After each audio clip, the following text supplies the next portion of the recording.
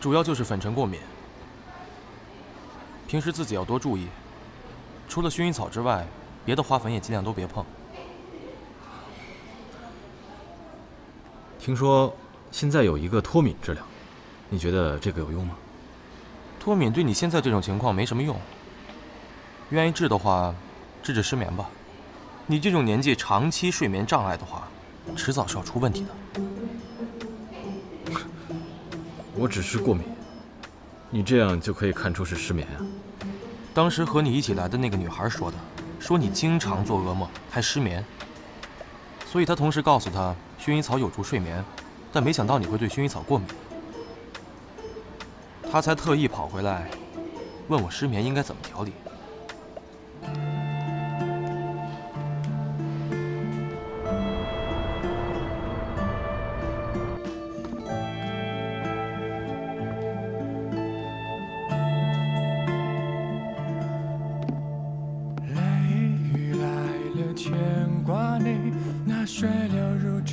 这盆景天多肉，可以净化空气，在晚上释放氧气哦，祝你睡得香甜。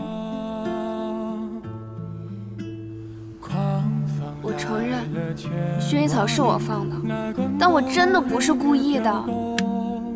我是看你平时老做噩梦睡不好，买薰衣草是用来给你安神用的。